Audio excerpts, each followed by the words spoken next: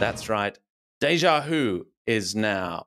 And for our uh, new listeners, this is the nigh impossible quiz to try and uh, find which player I'm thinking about. I'm getting some nods from the from the panelists because we'll ask them if they have any idea and and and and I agree that it's not always easy. I do generally try and find, and it's actually hard to write the clues. I will say because you find a player and you think, okay, this is a player.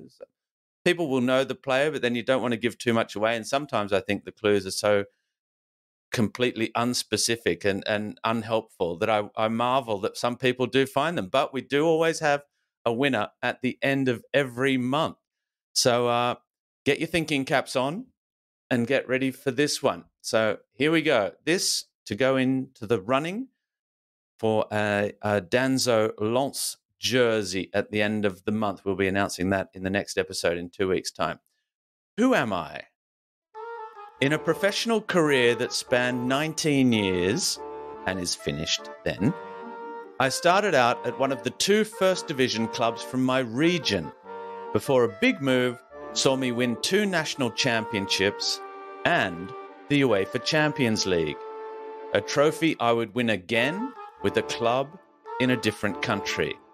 I played top flight football for five teams in my homeland and three other clubs in three different countries, including a spell in France, where it looked as though my career might have slowly been losing its way as I fell out with a future national team coach and spent two seasons on loan at three clubs around Europe.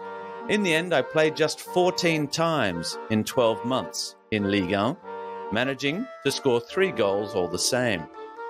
However, a move back to my homeland proved fruitful. I played on for another nine seasons, winning two cups and taking my tally with the national team to 57 caps. Playing in a World Cup, playing in Euros, even if I did miss out on the crowning achievement of my generation. So there you go. For new listeners, I suggest you try and find the country first, perhaps, of where this player could be from.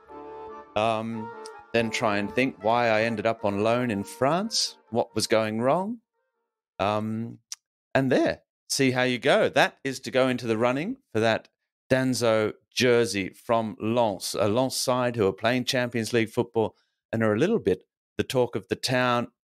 At the moment, we've been saying that for a couple of seasons now in France. They're proving it in the Champions League. If you have it, or you simply think you might have it, send all your answers to League One Podcast at gmail.com and you can go into the running for that Kevin Danso jersey.